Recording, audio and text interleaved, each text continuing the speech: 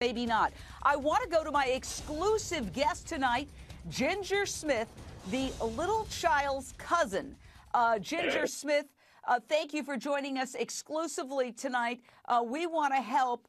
Uh, we want to understand the dynamic. First of all, I understand that you are at the police uh, command post or the command post where volunteers and police are gathering and searching. But tell us about the dynamic between the mother of your little missing cousin and her ex boyfriend. Why was she even living at the house of her ex boyfriend's mother with her ex boyfriend and her two kids? Um, I, I really don't know. I do know that, that she was living with them, um, and I believe she had been living there from March until about a month before Elaina uh, came up missing. And the night before Elaina come up missing, um, she had called them and told them that she had no place to go, no place to, you know, it was cold, it was rainy. Um, they needed food, they needed a place to spend the night. So supposedly Stephen's mother allowed her to come and spend the night there.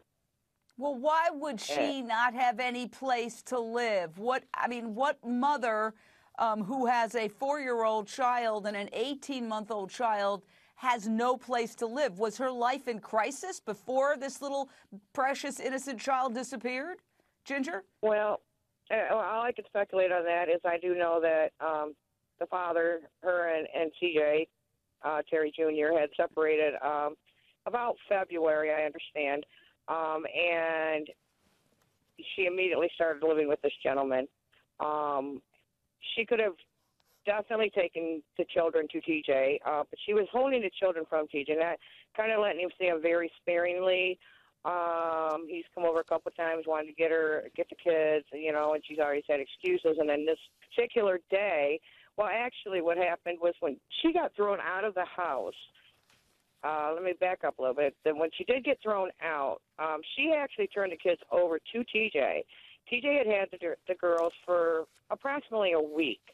Um, and, you know, he really thought there was not going to be no big issues, nothing to have to really jump into immediately uh, as far as custody. And he had to work, um, and his girlfriend had to work, so they allowed her to have the girls, but they were supposed to stay at her her father's home, um, which the agreement was they'd stay at her father's home. He'd pick them up in the morning when they got off of work. Um, so when he went to get the girls at her dad's, he the dad said that she had never came there. So okay, therefore, well, that's well, what Ginger, first learned. Hold on for a second, because there's a lot of people you're mentioning and our viewers. I want to I want to bring our viewers up to date on the cast of characters here, so we can try to solve this terrible mystery. The baby's mother, Angela, you've been seeing her crying. There she is uh, was staying with her ex boyfriend, Stephen, in his mother's home at the time of the baby's disappearance. Now, that ex is apparently in hiding because he's getting death threats. Cops have not charged him with anything. He is not considered a suspect. I want to stress that. But Angela's father, the father of uh, this woman who's in jail, believes he is responsible for whatever happened to baby Elaina. Listen. She's guilty of not taking care of that baby like she should have. She should have took the baby to the hospital she should have been truthful and done. She shouldn't even been in that house from the get-go. She doesn't know where the baby's at, but she knew what happened to the baby. This is a very complicated family tree. Let's lay it out for you. Angela was staying again with her ex boyfriend, Stephen King, not the author, in his mother, Julie's home. At the time the child disappeared, Angela's four year old daughter was also in the home. The father of two children is Terry Steinfurth Jr., TJ, I guess is what you were calling him, who came to the house to pick up his kids in a custody exchange. Angela refuses to hand over little Elaina. Uh, so he gets his dad, Terry Steinfurth uh, Sr., and they come over, and all of a sudden, that's when this woman here says, That baby you're looking at there has disappeared.